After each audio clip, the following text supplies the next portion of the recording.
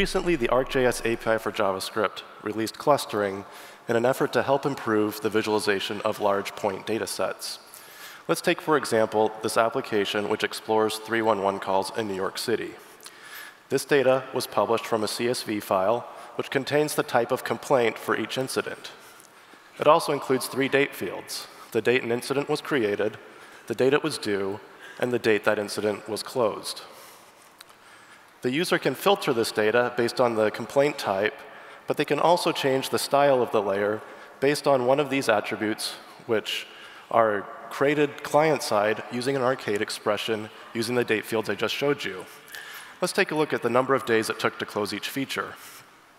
This is mapped along a continuous color ramp. But as you can see, this is not a very useful visualization. The points are too cluttered, and in many cases are stacked on top of one another, making it impossible for me to see spatial patterns in my data.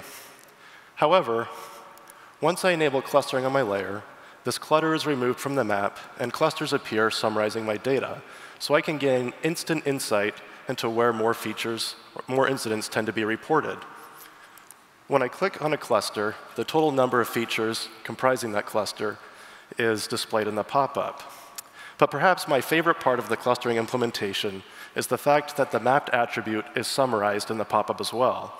In the case of numeric data, such as this one, the average value among all features in this cluster is displayed in the pop-up, and the corresponding color along the color ramp is, is assigned to that cluster. In the case of categorical visualization, such as, or categorical data, such as the time of day an incident was reported, the most common type is displayed in the pop-up, and the corresponding color in, uh, is assigned to the cluster. Note that you can click Browse Features to look at individual features within the cluster. Let's go ahead and filter our data based on one of these types, such as noise complaints. You'll see that the clustering recalculates on the client, providing me with immediate feedback so I can see areas where in the city where more noise complaints tend to be made. And not only that, since the style is separate from the clustering implementation, I can see that unsurprisingly, most of these complaints are made in the nighttime and evening hours of the day. Note that as I zoom in and out to, of my data, these, these clusters recalculate on the fly, so I can observe the density of features and how that changes at various scales. Let's go ahead and look at another attribute, such as the number of days an incident was overdue at the time it closed. This is done along a continuous above and below ramp where red features indicate incidents that were closed past their due date. White features mean they were closed on time, and blue features indicate incidents that were closed early. Clearly, noise complaints were closed overwhelmingly on time. However, when I switch my filter to other complaint types, such as graffiti complaints, I note that the spatial pattern changes, and I observe that these tend to be closed well past their due date. Let's take a look at another one, such as um, broken meters.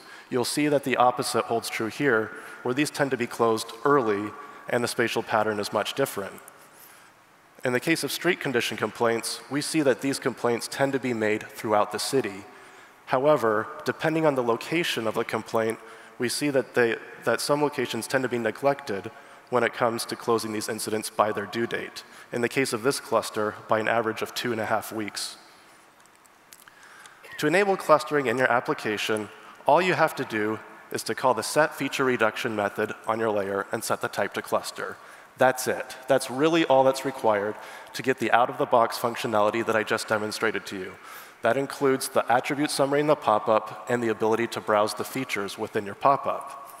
In the future, we'll support other types of feature reduction, including thinning and binning. And I just want to reemphasize to you that all other workflows within my application remain the same. The ability to filter my data and to set the styles still requires just a few lines of code and remains completely separate from the clustering implementation. As you can see, with the ArcGIS API for JavaScript, you can create powerful data exploration applications using the new clustering features. Thank you.